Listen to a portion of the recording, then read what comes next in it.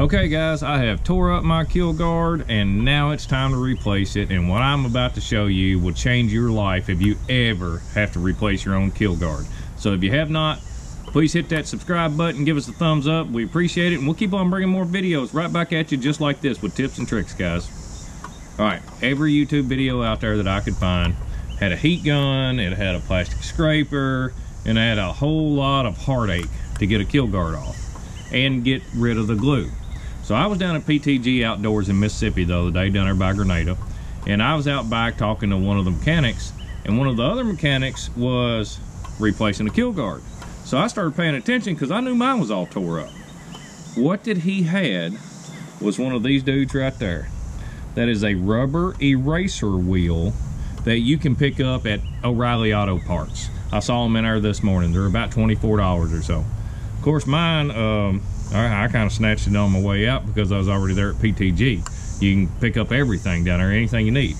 But this will save your life and we're gonna get this keel guard pulled off and then we're gonna get to showing you exactly how to get it replaced. Let's go.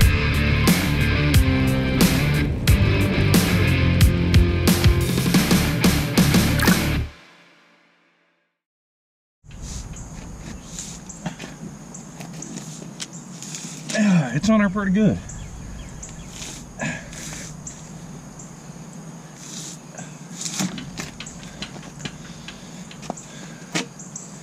Yeah. The easy part's done. Let's throw that away and get in there on the grinder. All right, what I'm doing here is I'm gonna take the wheel and turn the drill on. I'm gonna take that wheel. What I'm doing here, I've got my eraser wheel and I'm gonna turn this on and just start going up and down through here to get all this glue off. It'll start balling up like this right here. And you have to be careful because when it balls up, it gets really, really hot. So you don't want to go grabbing a hold of it until it's had time to cool down.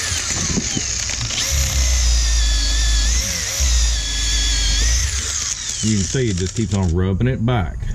It's rubbing it back. So I'm gonna get on with this and not keep you all on this one spot too long.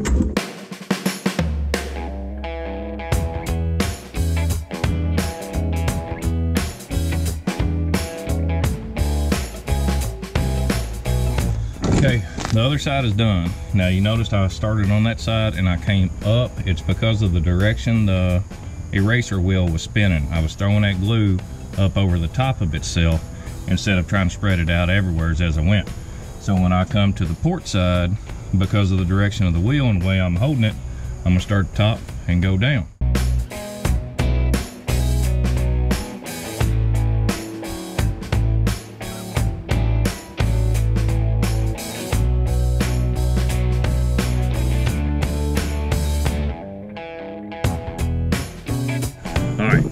I was putting my keel guard on and down the edge of my keel guard, I got a lot of very light scratches. They look like they can just be wet sanded out.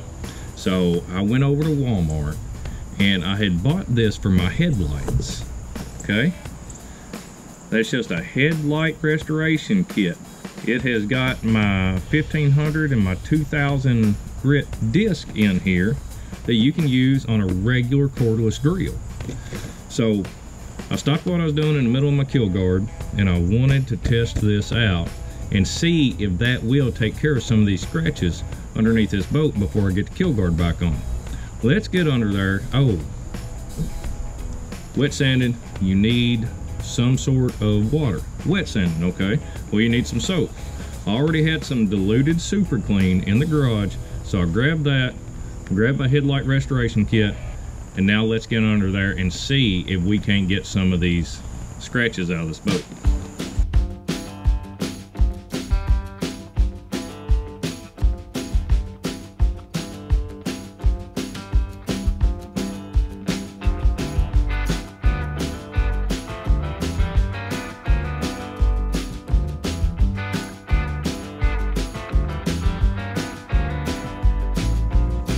I just went ahead and did this side. That's what it looks like after a little bit of wet sanding and this polisher. Wow is all I can say. I am extremely impressed for like $17 total. You can do something like that. I just I just slid you back there so you can see this is what it did look like. And now you can see what it looks like now. That is very, very impressive.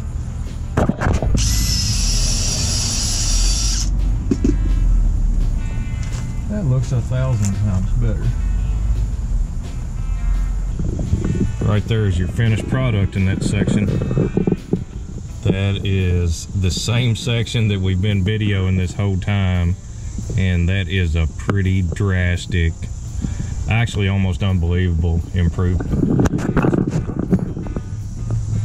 That is what it did look like. That is what it looks like now. So all I got to do is get finished up. Look at those scratches that have been taken out with just some buffing. Okay, now that that's over, that is uh, the hardest part of this. And I do suggest you start it maybe one evening and finish up the next day because when you get done, your arms are going to be absolute jello. Now, on to the next step. This is denatured alcohol. And no, that is not the same thing as regular alcohol like you use in the bathroom or clean a cut or whatever. This is some bad stuff that you need to wear gloves, you need to wear glasses, and keep this stuff off of you. What that's for is to get any of the glue residue that I left behind. So I'm gonna jump underneath there and I'm gonna wipe this dude down with this denatured alcohol. You can pick that up at uh, a lot of hardware stores, uh, tractor supply, uh, stores like that will have it. And it is different. It's not acetone. There is a difference. This stuff right here is bad to the bone. So you really got to watch what you're doing. So let's get under there and get that glue off and get ready to put this keel guard on.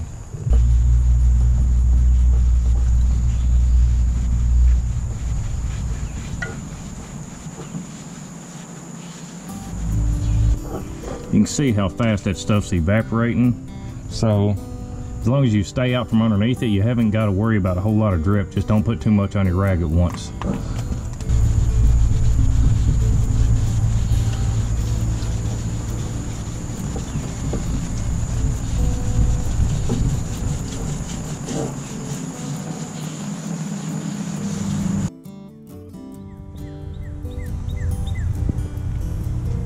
There you have it, guys. Wow is all I can say on the difference. Let's run around here and check out this other side. yeah, I told y'all I broke my slider or my creeper. There it is. Here's the other side. This is the one that had that big rebar gouge down it. And you can still see, well, that I didn't, I didn't buff that spot good enough, but my arms was hurting. there you go. Less than 20 bucks, took out most of those scratches and made the front end of this thing look like a brand new boat. All right, uh, it's been a little bit because I had to wait on uh, Amazon to get me my uh, gator guard. I've unrolled it out of the box. Got red tape on one side, keel guards on the other. I've just got it laying out on my boat to let the sun hit it to make it a little more pliable for putting it on. The only thing you're gonna need is some rubbing alcohol, some uh, paper towels. This stuff comes in the pack with the gator guard. It does say do not open, do not unfold this until you get ready to use it. That is a uh, adhesion promoter. So what we're gonna do, first off, I'm gonna wipe down the area with alcohol, let it dry, and then I'm gonna wipe it down with uh, the Scotch-Brite, and then the adhesion promoter.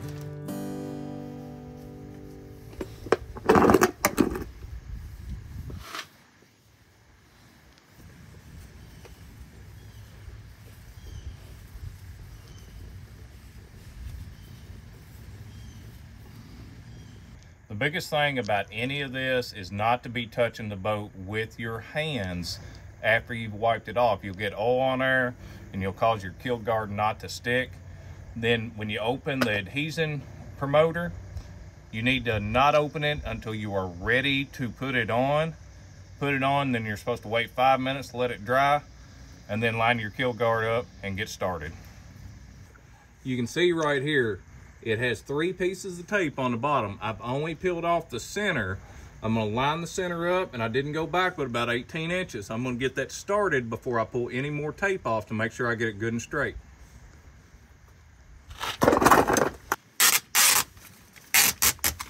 I'm running my fingers in, in each side. The seventh rib on this is the center of my keel guard. So I'm eyeballing and trying to keep the seventh rib right about the peak of my bend in my boat to keep myself good and straight. And as long as you don't really push hard on it, you can pull it right back off and adjust it and then go back to applying.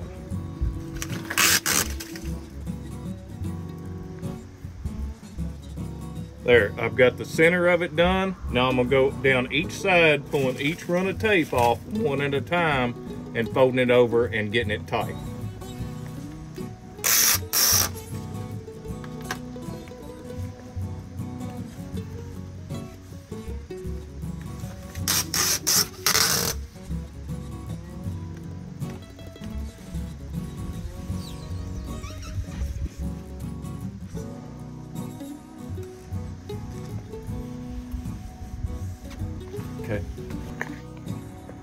I started right here uh, about eight inches back from my U-bolt that ties me on. You're supposed to run your keel guard eight to nine inches above your water line, which is well past. When it's sitting in water, I'm way back here. So that's why that I started that far back. Plus, if I hit anything hard up in here, I was on plane and that keel guard ain't gonna stop nothing no ways. Well guys, there you go. Please like, subscribe, give us that thumbs up. We appreciate y'all tuning in. Hopefully this will get you to where you don't have to go to a mechanic shop just over a keel guard. We'll see you next time.